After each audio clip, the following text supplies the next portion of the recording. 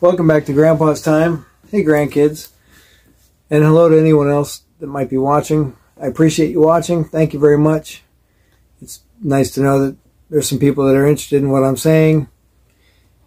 If you haven't subscribed already, please subscribe and hit the little bell so you can get notifications when I post new videos, which I'm currently doing twice a week, Tuesdays and Saturdays. I do that as long as I can. But, uh, Yes, so thanks again. Anyway, today I want to talk about something called the rule of threes. I'm sure that anybody that's ever listened to any bushcraft or survival channels or any of that kind of stuff has heard of the rule of threes before. But if you haven't heard of the rule of threes, I want to go over it with you.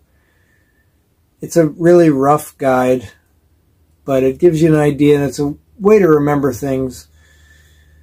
So it's three minutes without air it's that you can survive three minutes without air, three hours without shelter, three days without water, and three weeks without food. Now, is that 100% true? I'm sure. I'm sure that everyone watching this could probably Google and find someone that's lived longer than three weeks without food, or they've lived longer than three minutes without air it's a good general guideline. You know, the shelter, three hours without shelter, a lot of it's, if it's 80 degrees outside and you're walking and it's going to be 80 degrees all day, then you probably have longer than three hours. But it's a good guideline in order to think about this is how long I can be exposed before I start having problems. All right, so rule of threes, one more time. Three minutes without air, three hours without shelter, three days without water, and three weeks without food. You need to prioritize. If you're in, a, in an emergency situation, what do I need to do first? So you're breathing, so you don't have to worry about that. The next one's shelter. You need to you need to get shelter, or you need to build shelter. You need to provide yourself a shelter. Whether it's out of the sun, if you're in the desert, or whether it's out of the rain, whatever the situation is, you need to provide yourself some sort of shelter. And we're going to work on shelters in my upcoming videos. I've got some shelter videos planned. And three days without water. So a lot of people sit there and say, "Oh, I need to build traps and do all this stuff." Well, okay, that's that's not yet. You need to get shelter. You need to figure out a way to provide yourself with water which we're also going to go over.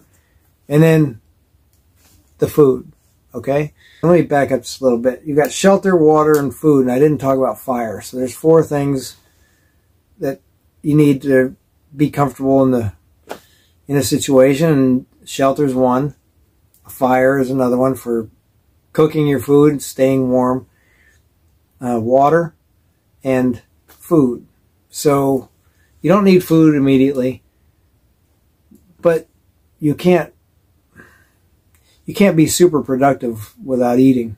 Okay, so you need to be thinking about it, but you need to get a shelter built. And I kind of put fire either before water or at, right after water. It's I I really want to put it as number the number two most important thing because in a lot of cases you're going to need to boil your water unless you've got a filter with you or you know you have a clean source of water.